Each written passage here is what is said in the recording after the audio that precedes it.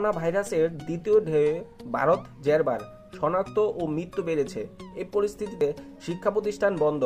শিক্ষার্থীদের শিক্ষাজীবন চালু রাখতে চলছে অনলাইন ক্লাস এ পরিস্থিতির মধ্যে ওপেন বুক পদ্ধতিতে পরীক্ষা নেওয়ার কথা জানালো দিল্লি বিশ্ববিদ্যালয়। করোনায় পিছিয়ে থাকা শিক্ষা ব্যবস্থার গতি ফিরিয়ে আনতে এমন উদ্যোগ নেওয়া হয়েছে বলে জানিয়েছে বিশ্ববিদ্যালয়টি। সাতই জুন থেকে পরীক্ষা শুরু হবে। গত শুক্রবার বিশ্ববিদ্যালয়ের পরীক্ষার দিন ডিএস রাওয়াত স্বাক্ষরিত এক বিজ্ঞপ্তিতে এ তথ্য জানানো হয়। বিজ্ঞপ্তিতে বলা হয়েছে, শেষ বছরের মতোই অনলাইন ওপেন বুক সিস্টেমের মাধ্যমে ফাইনাল সেমিস্টার, ফাইনাল বর্ষের পরীক্ষা হবে। পরীক্ষা শুরু হবে সাতই জুন থেকে। অনলাইন ওপেন বুক পরীক্ষার দ্বিতীয় পর্যায় শুরু হবে সেপ্টেম্বর মাস থেকে। শিক্ষার্থীরা তাদের পছন্দ মতো জায়গা থেকে বা সংশ্লিষ্ট কলেজ বা বিশ্ববিদ্যালয় থেকে পরীক্ষা দিতে পারবেন। এই পরীক্ষা শুরুর কথা ছিল পয়লা জুন থাকে। কিন্তু করোনার বর্তমান পরিস্থিতির কারণে এই সিদ্ধান্ত থেকে সরে আসে বিশ্ববিদ্যালয় কর্তৃপক্ষ।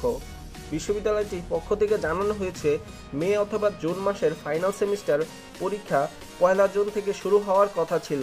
তার পরবর্তীতে সংশ্লিষ্ট পরীক্ষা সাতই জুন থেকে শুরু হবে। একই সঙ্গে পনেরোই মে থেকে পরীক্ষা হওয়ার নিয়ে যে ডেট শিট রিলিজ করা হলো, তাও প্রত্যাহার করা হলো। নতুন ডেটশিট খুব দ্রুতই বিশ্ববিদ্যালয়ের অফিসিয়াল ওয়েবসাইটে আপলোড করা হবে।